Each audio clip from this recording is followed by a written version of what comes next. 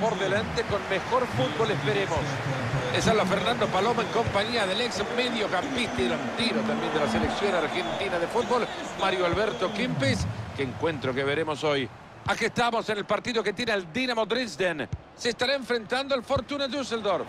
La verdad que hacía rato que estaba siguiendo a estos dos equipos y por fin los puedo ver. Se la juegan todo en 90 minutos.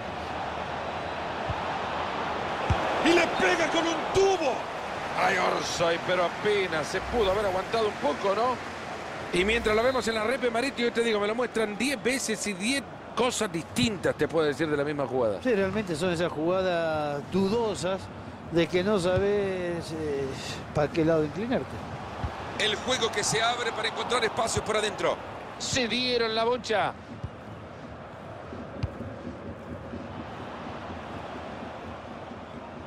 Es duro que pelean por el balón.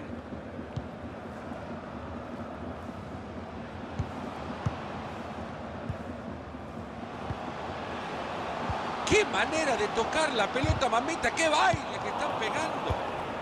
Se le fue el balón, así nomás.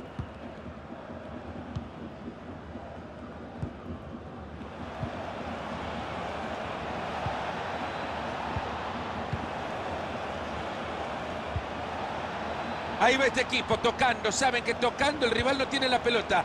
Ellos controlan el partido, la pelota manda el partido, ahí lo tienen.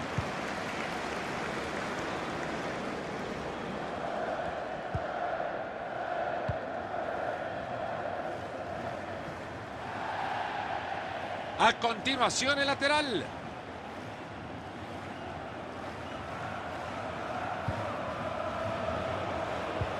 Pase equivocado y la pelota se escapa.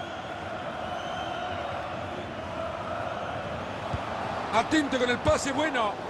Jugada desperdiciada, rechazan la pelota.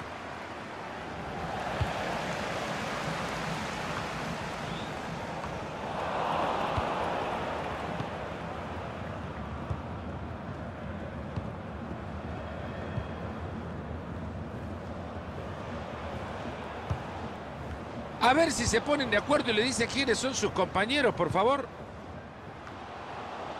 Maneja la pelota y se acerca al arco rival.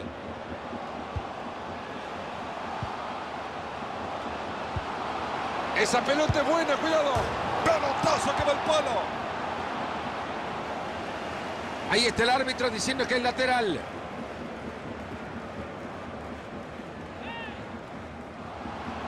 Puedes entrar. Balón desviado y por arriba del travesaño.